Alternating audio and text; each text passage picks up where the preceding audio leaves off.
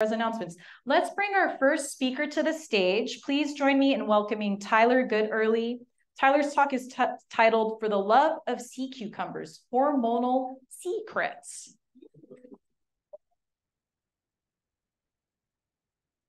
Oh, click it. Woo! Thank you everybody for being here tonight. My name is Tyler Goodearly. I'm a PhD student at UH Manoa in the Department of Human Nutrition, Food, and Animal Sciences, and under the advisement of Dr. Andre Seale, who is with us tonight. yes, give it up for Andre. Andre has helped shape the blossoming endocrinologist who is standing before you. Endocrinology, what does that mean? That means I study hormones, and specifically, I study the hormones of sea cucumbers. So tonight, I hope to answer the burning questions you have, like what is a sea cucumber, and why are they important, and what about their hormones? So without further ado, I'd like to introduce you to the sea cucumber. Now, this is a sea cucumber egg all sea cucumbers start out in eggs, and from that egg hatch a single larva. The larvae go through several metamorphic stages before they do their final metamorphosis into a miniature adult. So pictured on the right there, that's the last larval stage. So from there, they find a nice home, and then they turn into something like this. There are 1,700 species globally. We see them primarily on tropical reefs, but they're also in the temperate, in the Arctic, and even in the deep sea. They're in the same phylum as sea urchins and starfish, so those are their closely related cousins. And I should have mentioned this, they are animals, not plants. And they are ecologically important. Sometimes you hear them being referred to as the vacuum cleaners of the sea or the earthworms of the sea, and that's because of their feeding behavior. They consume sand they ingest sand, and with it, all the biological material. So feces and bacteria, dead things, microalgae. And they use that biological material as fuel. Then they excrete clean sand that has been partially digested. So then there's calcium carbonate that is available for surrounding corals to absorb and incorporate into their skeletons. Sea cucumbers also hold cultural value they're depicted in the Hawaiian origin story, Kumulipo. And we also see them in pop culture references like Pokemon and SpongeBob. There's even a 500 page book filled with a thousand poems all about sea cucumbers. So sea cucumbers have been celebrated by people for a long time, and that includes culinarily. Sea cucumbers are consumed across the globe, they're full of awesome nutrients like protein. They have 65% more protein, weight for weight, than beef. They also have biomedical compounds like phenols and collagen, which are used both in the cosmetic industry and in the medical world. Compounds extracted from sea cucumbers can treat things like obesity and even kill cancer. So there's this booming sea cucumber market. It was estimated that in 2015 to be mm-hmm. 6 billion US dollars and growing. 90 countries participate in sea cucumber trade and 80 species are harvested to supply this demand. And some of those species can fetch really high values, upwards of 3,000 US dollars per kilogram. But unfortunately, we have been harvesting sea cucumbers at unsustainable rates. We see titles, uh, news headlines like catastrophic depletion and overexploitation which has led to 16 species being put on the IUCN Red List, which is a compilation of the world's most imperiled species. Five of those species are CITES cross-listed, meaning you can't trade those across country lines. And two of these species occur here in Hawaii. So I hope by now I've convinced you that sea cucumbers are important and celebrated and also imperiled. So what can we do? Well, we can produce sea cucumbers sustainably in aquaculture, which can do two things. It can meet market demands and also augment wild populations. And we've seen an increase in the production of sea cucumbers in aquaculture in the last 20 years or so. And um, if you look at the figure on the right in the brown there, you can see that the aquaculturally produced sea cucumbers are entering the market and meeting some demand. However, only a few countries are producing sea cucumbers uh, on a commercial scale, and none of that is coming from the US. And not to mention also, we are harvesting more sea cucumbers from the wild than ever before. So we've got the demand for sea cucumbers and we have the economics. Why aren't we producing more?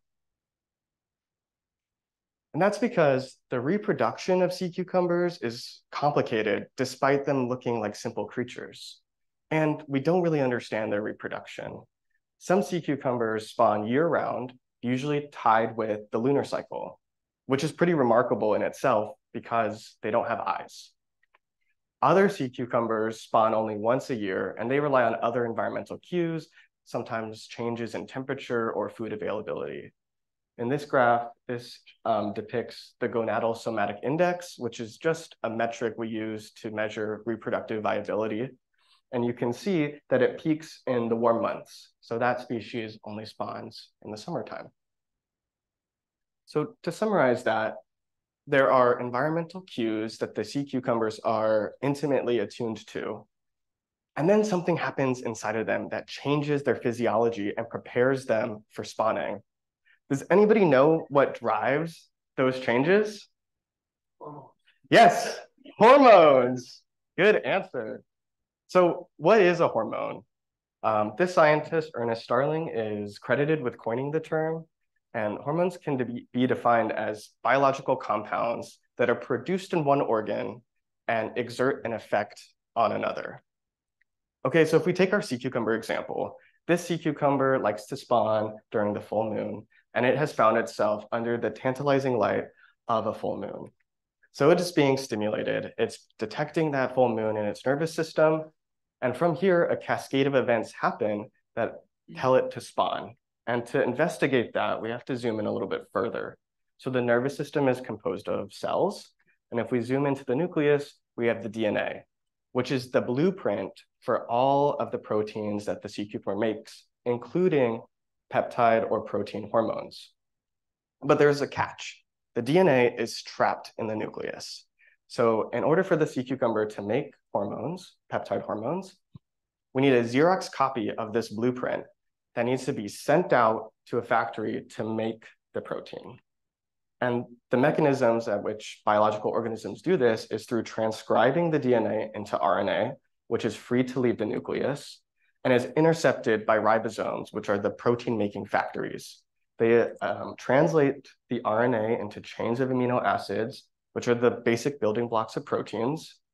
Then sometimes there's some post-translational modifications that happen to mature the hormones, which are then sent into circulation to find their target cell or tissue. Now, there are two hormones that are known to play roles in reproduction in sea cucumbers, and these kind of act sequentially. So you could think of them like a relay race. So the first, relaxin-like gonad stimulating peptide, this does two things. First, it matures the gonads. So like I said, sometimes sea cucumbers only spawn once a year, and during the off season, their gonads shrink. And so RGP helps mature the gonad, grow the gonad, and prepare it for reproduction. And it also acts on the follicle cells, which the eggs develop in. So you can see on the bottom here, there's an egg within a follicle cell. And so RGP, um, the egg cells, they go through four, five stages of maturation, and RGP takes them all the way to stage four. And that's when it hands off the baton to this other hormone, cubifrin, to finish the race. So cubifrin also does two things. It takes those eggs from stage four um, here to stage five, um, which is denoted by the breakdown of the germinal vesicle. And then it tells the sea cucumber to spawn, to release those eggs. Oh, and um, these have only been documented in a few species, and we have seen that the amino acid sequences, the basic building blocks for those proteins, vary between species and sometimes don't work across species. In other words, those sequences are species specific. So I'd like to introduce you to the sea cucumber that I study, Stichopus horrens. It goes by many names. You may have heard it called Namako, and the Hawaiian name is Unai. It's uh, native to Hawaii. It's nocturnal. I often find it accompanied with the symbiotic crab. And this is one of those species that's coveted. It's um, harvested both for culinary purposes and for medical purposes. And so my research is to understand the reproductive mechanisms of this species by characterizing those two hormones I talked about, RGP and cubifrin, and then testing their effects on inducing reproduc reproductive behavior. So to date, I've extracted nervous tissue from Stichopus horrens, and then from that, I extracted the total RNA, so all the Xerox copies of the DNA that tell us what the sequences are for those proteins or protein hormones. We sent that out for sequencing. What I got back was 100 gigabytes of data. I then went through um, a lot of computational work to ascertain those specific amino acid sequences. We then worked with project partners to synthesize those hormones. Um, and here's a little sneak peek at our results. So this is our cubifrin that's in uh, our freezer now. And all the other sea cucumber species, it's been described as having five amino acids. And our and Stichopus horrens, it has six. And RGP is far more complex. It's two chains of amino acids connected by disulfide bridges. It's 43 amino acids, and it's in the same family, same protein family as insulin. So our next steps are to test these hormones in vitro and in vivo. We've done a preliminary trial and results from that suggest that this will work. So in conclusion, sea cucumbers hold ecological value. They're nutritionally really dense. They hold cultural value.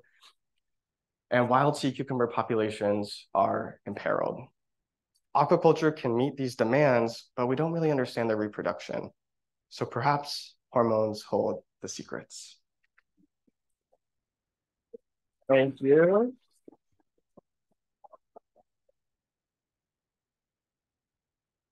Mahalo, Tyler. Questions for Tyler? Yes. Oh. Oh. And can you repeat the question? Yes. So the question is about gamat oil, which is pictured here. Um, so Stichopus horrens doesn't just um, occur in the waters of Hawaii. It's found in other tropical areas, including Malaysia, where they harvest these sea cucumbers and they take out the juices of its circulatory system. And that is what gamat oil is made out of. And this is used to treat burns and wounds, and it's also used to relax muscles. It's used as a massage oil. Um, and there actually is like a lot of scientific evidence to back that up. All of the um, all of the immune system functions of the sea cucumber come from the juices that go into this. Does the um that that juice does that include the hormones that you study, or is that confined to a, part of the biology? the question? Yeah, yeah. The question is, um, does the circulatory juice or liquid contain the hormones I'm studying, or is it confined somewhere else? And so we don't actually know for sure where it's being produced. There's evidence that it's being produced in the nerve, that the hormones are being produced in the nervous system. And then they would have to travel to their target tissues, which are, we know, are the gonads and the gametes, the egg cells.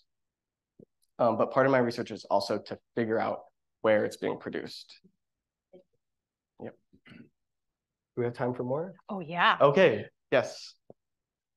Mr. Walton. Dr. Walton.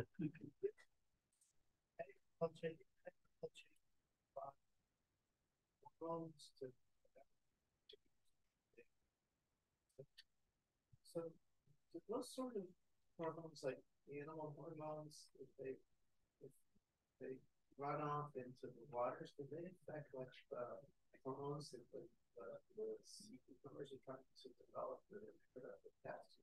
Yeah, so the question is about environmental concerns using hormones in agriculture.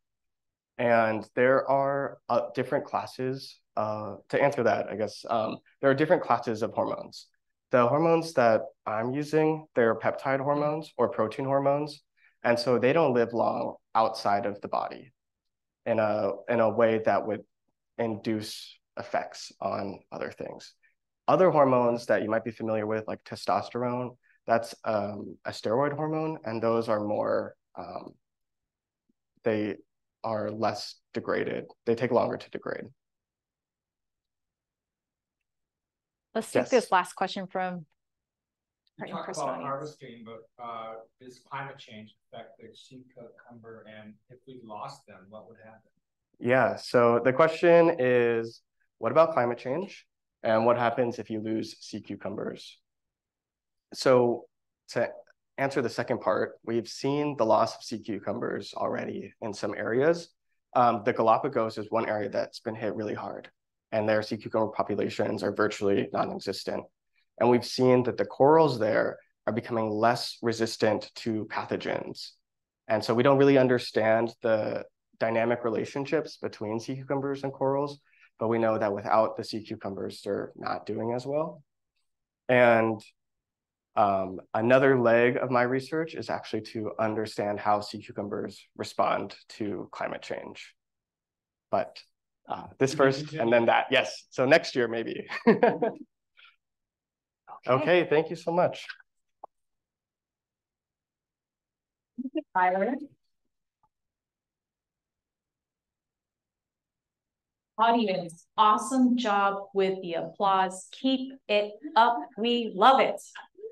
Um, let's bring our next speaker up to this stage. Our next speaker is Tressa Hoppe, and Tressa's talk is titled Getting Interpersonal with Plants, Forest as Community. Give it up for Tressa.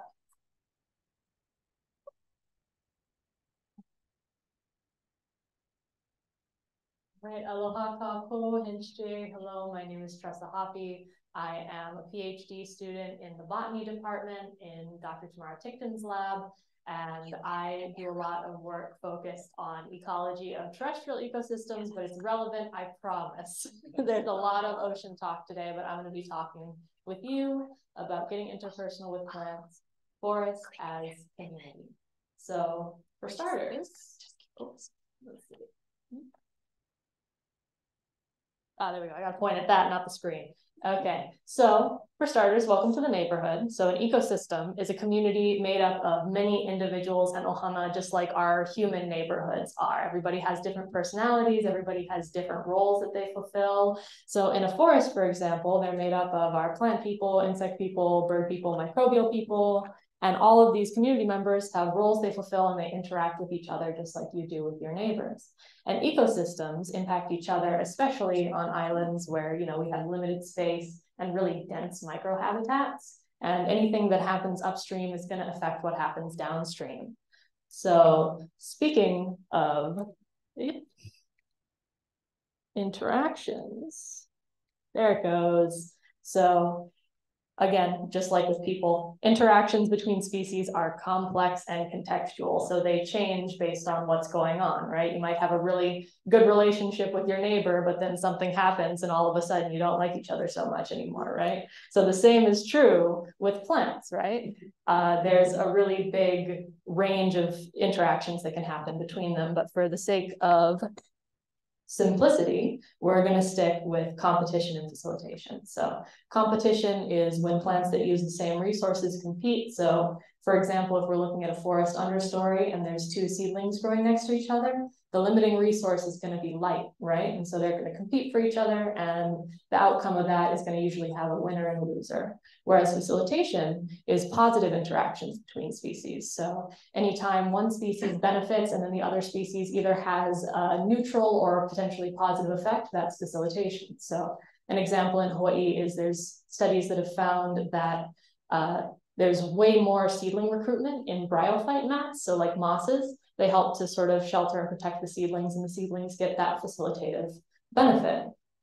And a healthy community has a diverse suite of species and interactions so that everybody can fulfill their role. And then you get a healthy functioning ecosystem. So ecosystem function is the sort of things that the ecosystem provides for us, but then also for the rest of sort of the land, right? So if you have a healthy forest, that's going to provide us with fresh drinking water, but it's also going to make sure that the water that runs down the river is clean and isn't going to put a bunch of sedimentation on our coral reefs, right? So we've talked about healthy ecosystems. Unfortunately, frequently that is not the case, especially nowadays. So there's lots of things that can cause these breakdowns in relationships that can cause ecosystem degradation. So disturbance, environmental destruction, invasive species, climate change, trophic breakdown, and all of these things have these cascading effects. And well, there goes the neighborhood, right? So these are all actually pictures I've taken. Uh, extinction is another big one. Uh, a lot of our birds are extinct.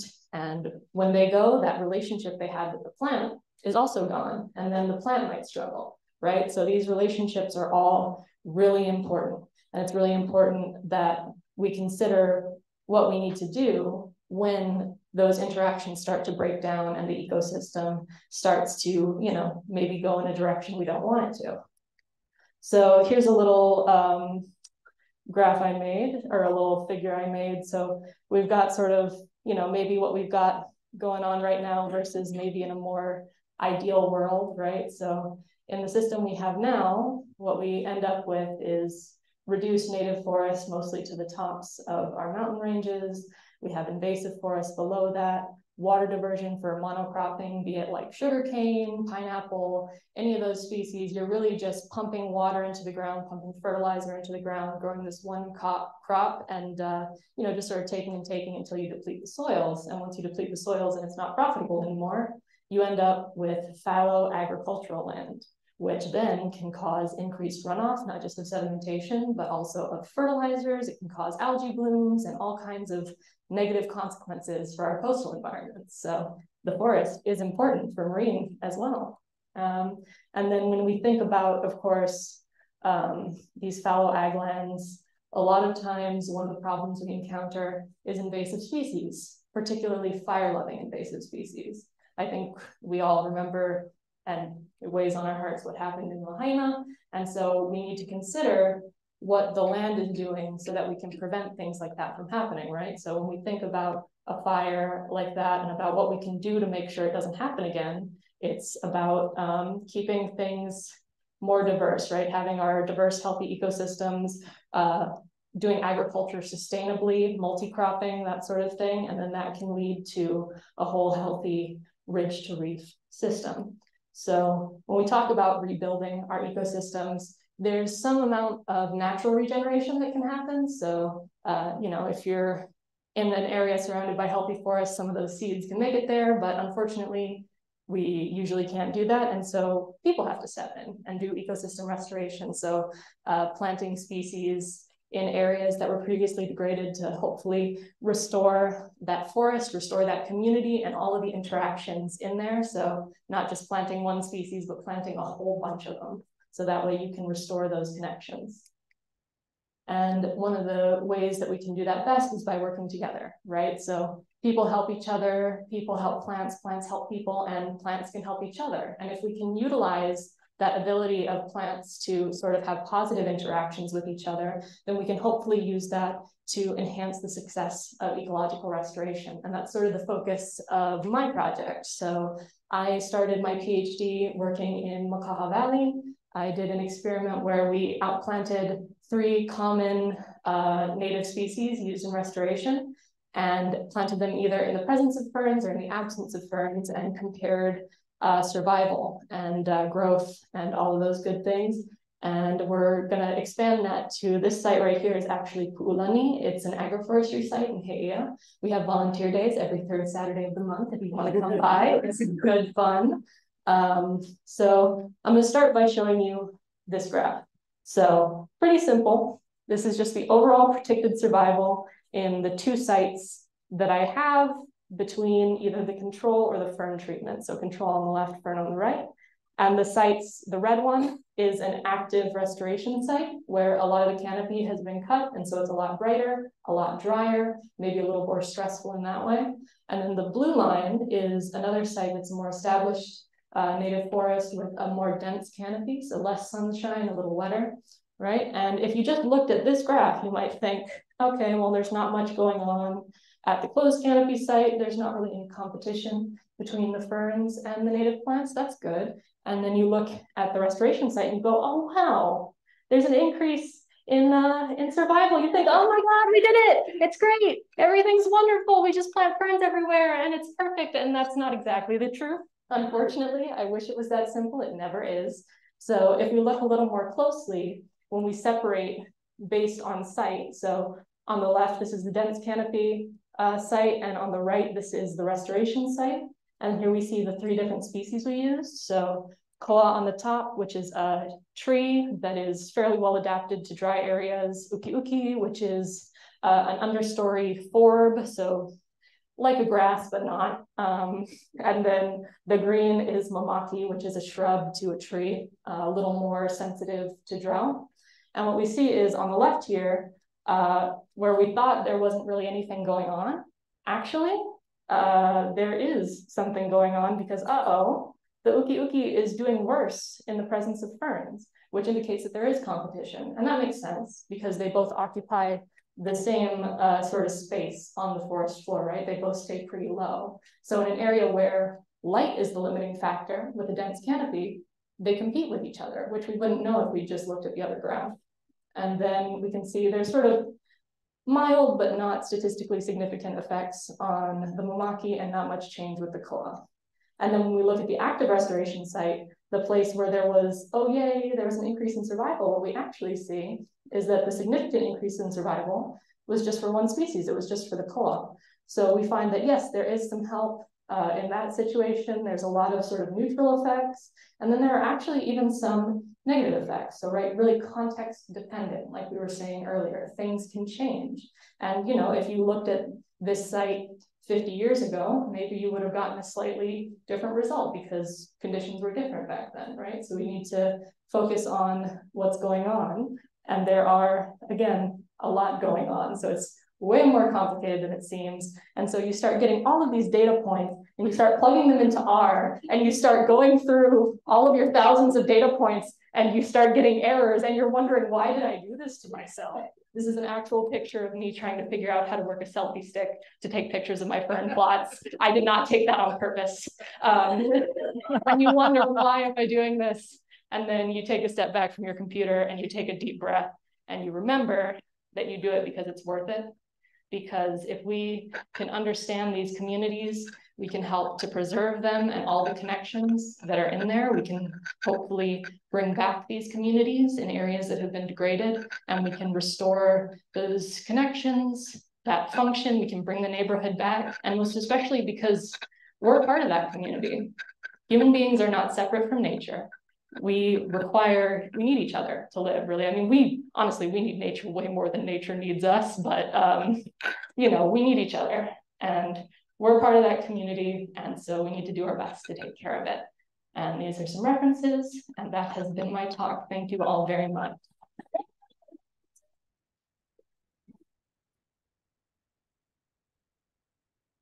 all of us feel free to talk. Let's take some questions from our in-person and online audience. Any questions for Tressa? I will get us going. So Tressa, you said that you are working on some restoration sites in Makaha mm -hmm. and also at Pu'ulani. Mm -hmm. um, do you expect things to be kind of similar, kind of different? Can you tell us what your expectations are for those two study sites?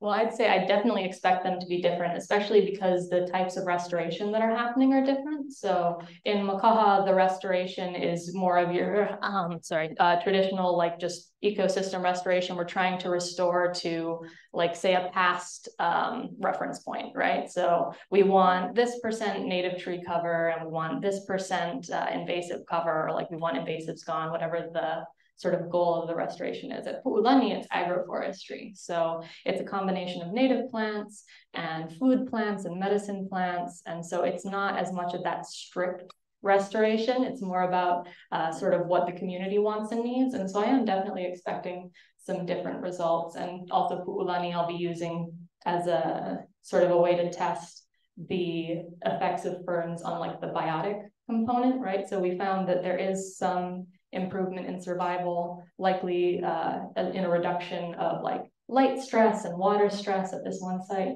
And at Pu'ulani, what we're going to do is uh, slug inclusion and exclusion trials because we find, okay, the ferns have this positive effect in dry places on some species, but they might also, you know, you know, well loves shady, wet places, slugs. So we want to see if sort of untangling all of those different layers of uh, interactions because there's always more. If you think you've gotten to the end of, of the interactions, you absolutely have not. yeah. Um, is the, uh, sorry, yes, the Makaha uh, site on the on military property? No, no, it's on, actually it's on Board of Water Supply land. So a lot of, actually most of Upper Makaha Valley is Board of Water Supply land. Can you repeat the question? Oh, I'm so sorry, repeating the question. The earlier question was about the, diff- oh, you were on the mic for the earlier uh, yeah, hot mic. Ah, There we go.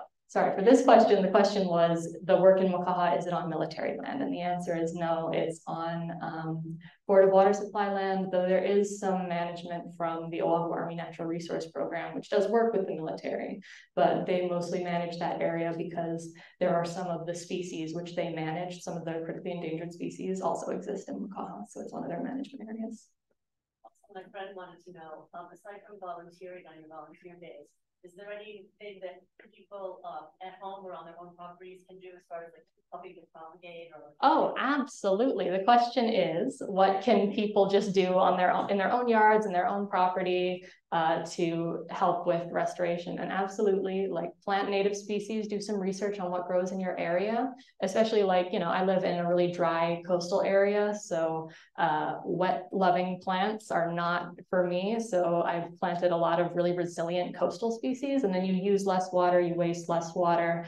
Um, and even, you know, even if you don't have a yard, just, you know, call your representative, put a little pressure on them to, you know, support uh, ecosystem restoration efforts. And if any bill comes across like the Protecting America's Wildlife thing, just, you know, that's another great way you can help even if you don't have land. Okay. Time for one more? Let's take one more question. Okay. Uh, all right, sorry, I saw you first. Have you guys had any conversations about like the potential for fungal species in the soil to like be part of this interaction? Yeah, so the question was about uh, fungi in the soil being part of these interactions. Absolutely. I am not a mycologist. I wish I had enough room in my brain for plants and fungi, but um, I'm actually at Pu'ulani. We're working with Dr. Kiana Frank, who's a super awesome microbial person. And so we're doing soil samples in areas where we've planted ferns and then control plots where we haven't planted ferns. And I'm hoping to extend that into my research in Makaha as well to see what the microbial diversity of the soil is, because there have been studies that indicate that ferns help uh, sort of bolster the um, microbial diversity of soils. So, okay, I changed my mind. We're gonna take one last question. Your question. Yeah. Yes. Cool. I was wondering, the native species, will they always need our intervention for them to have a hold in the area, or will is there a potential that someday they'll be able to take back over without our constant intervention? That's a great question. So the question was, um, will native species always need human intervention or will there be some point in time where they're able to sort of regenerate on their own? And the answer is yes and no, right? So there are some areas where we've done restoration and there is like, you know, it requires very minimal maintenance. I used to work with the Army Natural Resource Program. And so there are some areas that are like recruiting on their own. Native species are coming back. Even some endangered species are recruiting on their own. And it's super awesome. But there are some cases where, you know, say we have an endangered plant species where the pollinator doesn't exist anymore, like the pollinator's gone extinct. That plant will always require human intervention in some way to perpetuate, because if it can't produce its own seed, it can't continue the species. So yes and no, and there's also some uh, possibilities for alternate stable states. So essentially like it's not a perfect native forest, but maybe it's a native forest with some ulu or some other fruit trees that are non-native but non-invasive and are useful and culturally significant. So there's lots of possibilities. Awesome. Thank you, Tressa. Mahalo, Tressa. Thank you. Okay, audience. We have come to the part of our program where we do the raffle. Drum roll, please. Oh, and get your tickets out, get your tickets out. Drum roll, get your tickets out. Heather's gonna select the lucky ticket.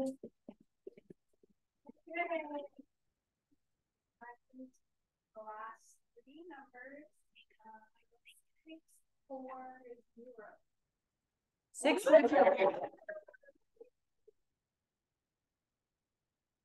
You can come get your Sea Grant t-shirt Wow. after we are done with the talks. You get to pick the style and size. Very exciting. Beth has an announcement. Uh, really quickly, I failed to thank Jake Snyder, who is here, who helped with the setup of the exhibit, the programming, the digital programming, and all the labels. So please give a hand for Jake for all of that. We also have Kyle Richmond over here who helped with the setup and Heather Duda, Maya Walton, and a whole team. Um, so please give them a round of applause.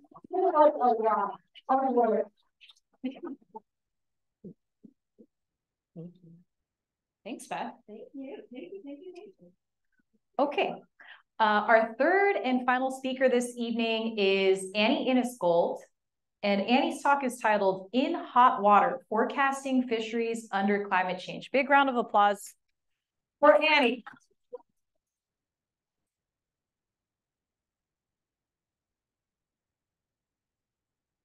Okay, hi, uh, my name's Annie. Um, I'm a PhD student at the Hawaii Institute of Marine Biology, working with Dr. Liz Madin and Dr. Lisa McManus in the audience over there. And yeah, I'm going to be talking about forecasting fisheries under climate change. So first, we're just going to think kind of broadly about forecasts in general. And I think for most people, when you hear that word, you probably think about weather forecasts, which, right, are just trying to predict what the weather will be like in the future so that you can plan for it. And first, we're going to think about what do we need for a good weather forecast. And I'm not a meteorologist um, by any means, but thanks to Google and ChatGPT, I was able to find out some of these things. Um, so one thing you need is reliable past observations. So what has the weather been like in the past? You know, things like the temperature, sun, wind, humidity, rain, and you want that information to be reliable. And then you also want an accurate picture of the current conditions. So what is the weather like out right now? And with these forecasts, the more observations you can get, the better. So you want to get as much information as possible so you can make the most informed prediction possible.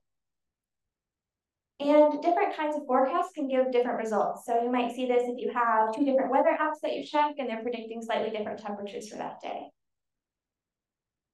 And we're probably all aware of this one, but weather forecasts, you know, they're not always right, but most of us find them pretty useful for how we go about planning for our day or our week. Um, but today's talk is not about weather, it's about fisheries. And so we can think about how this same premise applies to fisheries. So when I say fi forecasting fisheries, I'm referring to trying to predict what fish populations will look like in the future um, so that we can plan for our sustainable seafood supply. And we'll start off with the same question. So what do we need for a good fisheries forecast? Um, and we need a lot of the same things. So we want reliable past observations. You know, what has the fish population looked like historically? Um, you know, how many fish were there? How fast does that population grow? How often do they reproduce? How long do they live? Things like that. And then we want an accurate picture of the current conditions. So what does the fish population look like right now? How many fish are there? How much fishing is going on? And just like before, the more observations we can get, the better our forecast is going to be. And just like before, different kinds of forecasts can give different results. So you could use two different methods of forecasting, starting with the exact same starting conditions, and they might give slightly different estimates for what the fish population will look like. And just like the weather, you know, these forecasts are not always right. Um, you know, we can't really always predict what's going to happen in nature, but they're still useful for how we go about planning for our future. And with these kinds of forecasts, you know, we can make our best predictions, but we obviously can't control um, what's going to happen. And it's the same for fisheries. Um, you know, we, we try our best to predict, but we can't control what the fish populations will end up doing. But we can control how we interact with them. And this brings us to the idea of fisheries management. So fisheries management refers to managing the interactions between people and natural resources to ensure the long-term sustainability of fish populations. Um, and there's different strategies that are used in fisheries management. So I'll go through a few examples. So one is spatial closures. So a common example of this is a marine protected area or an MPA where um, fishing effort is regulated in a spatial way. So a certain area might have different regulations on what is allowed versus open fishing grounds. Another strategy is bag limits, where for a certain species, um, the number of fish or sometimes the size of the fish that you're allowed to keep um, is restricted or regulated. There are seasonal closures where a certain time of year might have um, different regulations than the rest of the year, and um, this can coincide with the spawning season for a fish population to allow that population to reproduce to the fullest extent. And then there are gear restrictions where a certain type of fishing gear might be prohibited. So an example of this would be something, an area that prohibits blast fishing because it can cause damage to the surrounding habitat.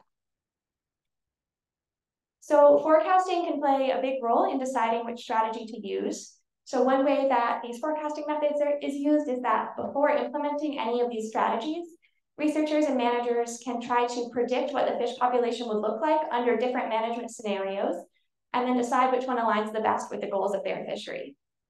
So I'm going to talk a little bit about how these kinds of forecasts work today. Um, they're based on mathematical models, and we're not going to get super in the weeds today, um, no, no equations, but um, well, I'm going to talk through some of the main steps of a mathematical model I'm working on in order to do some of this fisheries forecasting. So for my model, these are the kinds of questions that I'm interested in answering. So I'm looking at what management strategies lead to the highest fish populations and highest fisheries harvest. And then I'm also interested in trying to understand how climate change impacts the predicted fish populations and fisheries harvest. So again, thinking very broadly and conceptually about this model, you can think about it like a computer game or a simulation. Um, so in my simulation, I have two different areas. I have an open fishing grounds area and a no-take MPA area. And then to start off, we have a population of fish in each area that grows. Then we have fisheries harvest that occurs in the open fishing grounds. So this leaves us with the rest of the population as the non-harvested fish. And then the fish can disperse or they move between the two areas, so in and out of the MPA and the open fishing grounds. Um, so that's the end of the steps, and then we just start from step one over again um, and move to the next time step.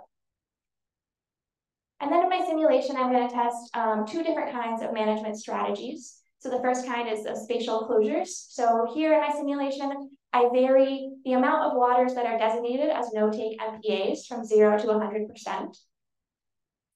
And then I'm also testing um, different levels of fishing effort. So I vary a fishing effort value from a value of zero, meaning no fishing at all, to a value of one, which essentially is saying that all the fish biomass is being removed from this system. So now to get into some kind of preliminary results from this work. So here I'm looking at the total fish biomass. So that's the whole fish population grouped together as one mass or one weight. And then the horizontal axis is showing the percent waters close to fishing, so how much is inside these no-take MPAs. Um, the color of the line shows the fishing effort, so ranging from zero to that very high value of one. And you know, takeaways here are that we see the most fish, um, the yeah highest fish biomass with um, high closures, so high amount of area in MPAs, and with a low fishing effort. We see the least fish with a really high fishing effort level and with um, no waters close to fishing or no MPAs. So that's pretty much what we would expect to see kind of in a simulation like this. Um, and now we can also look at the total harvest. So now instead of the fish population itself, we're looking at how much the fisheries are harvesting from it. And we can see we get the most harvest at a kind of low to intermediate fishing effort um, and with a, about a 20% area closure or 20% MPAs. Um, that gives us the most fisheries harvest. And the least harvest we see with a really high fishing effort level because essentially it's causing overfishing, so too much is being taken from the population for it to be able to sustain itself. And we also see the least harvest at either really low MPAs or really high MPAs. Um, but part of my talk title was also about climate change effects. And so we're going to think about how these can be incorporated into these kinds of forecasts. So climate change affects fish populations um, in multiple ways. But one of the ways it affects it is a direct effect of warming waters on the fish population growth rate. So population growth rate refers to births minus deaths in a population. And to sum up a lot of previous research very briefly, um, in general, warmer waters can cause reef fish to um, have fewer eggs, so fewer births. And it, warmer waters can also lead to higher reef fish mortality, so higher deaths. So overall, you know, warmer waters essentially will reduce the population growth rate. Another way that climate change can affect fish populations um, is a more indirect effect on their habitat. So this brings us to the idea of carrying capacity, which just refers to the maximum amount of fish that a habitat can hold. So in general, you know, healthier and more complex coral reef habitats can hold more fish, so they have a higher carrying capacity. So as water's warm and it causes coral reefs to degrade, they can't hold as many fish anymore, so they have a lower carrying capacity. So to look at some preliminary results from this part of the project, um, we're again looking at the total harvest that fisheries are um, getting, and then uh, the horizontal axis is again the amount of water exposed to fishing or the amount in MPAs. And now the color of the line represents different ways that I've looked at climate change in my simulation. So this top line that's showing the most harvest predicted has no climate change impact. So I'm not accounting for how climate change might affect fish populations.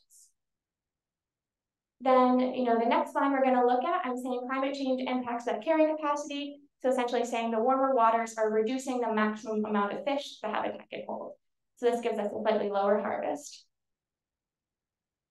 Um, then third, I'm saying now climate change impacts that growth rate. So the warmer waters are reducing how fast the population is growing. Um, and this gives us an even lower harvest. And then finally, I'm saying climate change is now impacting carrying capacity and growth rate um, simultaneously. And this gives us the lowest harvest of all.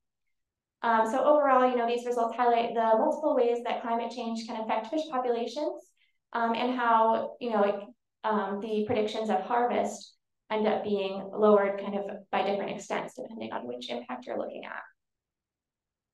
Um, yeah, so kind of to wrap up, you know, it's important to think about and plan for how climate change will affect fish populations. And here I've demonstrated some of those effects and how they can be incorporated into these kinds of fisheries forecasts.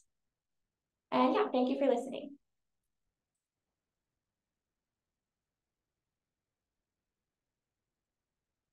Thanks, Sandy. Let's take questions both from our in-person and online audience. Online audience, if you have questions, you can put them into the chat and we'll read those out loud.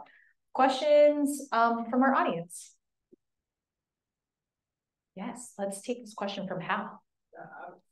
and then repeat the question. But I was just curious, the first part you were measuring, uh, what, what are the two factors in the, in the first part? Yeah, so I, I had the total fish biomass and then the fisheries harvest. Yeah, so I was wondering, can those be manipulated to overcome any of the bad effects of climate change?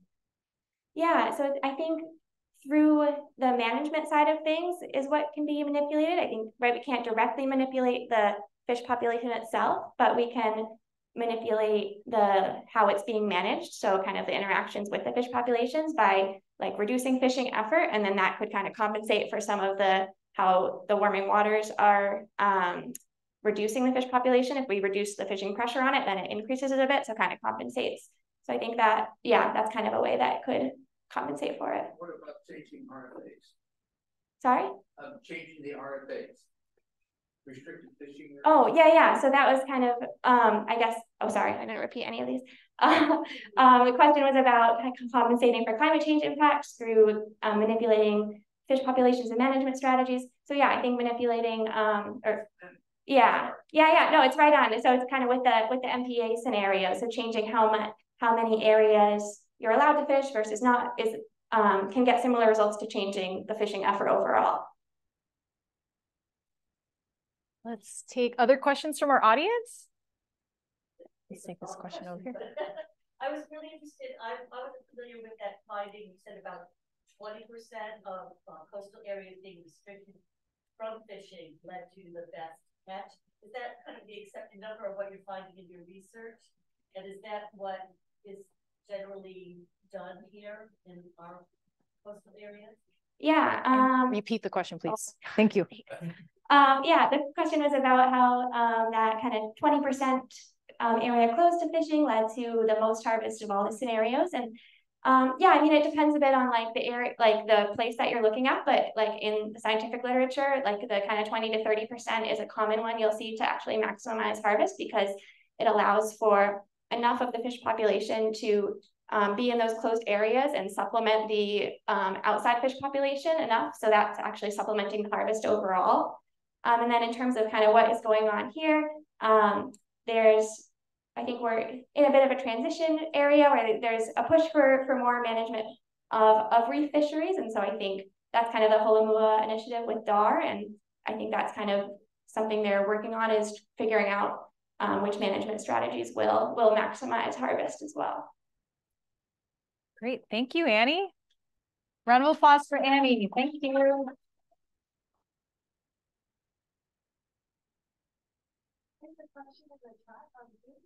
Oh, okay, let's take this online question. Um, I'm going to read it. Okay, this is a question from Gnome, and it says, you looked at how the percentage of area closed to fishing affects biomass. Does the model include space? That is, does it matter which areas are closed to fishing? Um, yeah, good question. So my model does not, is not a very um, spatially explicit model. So I'm not looking at which areas, I'm just looking at the overall amount. Um, but there are certainly other models that are much more focused on the spatial aspect and um, it can, they can definitely show that which areas would um, have a big impact on, on um, the fish populations and harvest. Awesome. Thank you, Annie.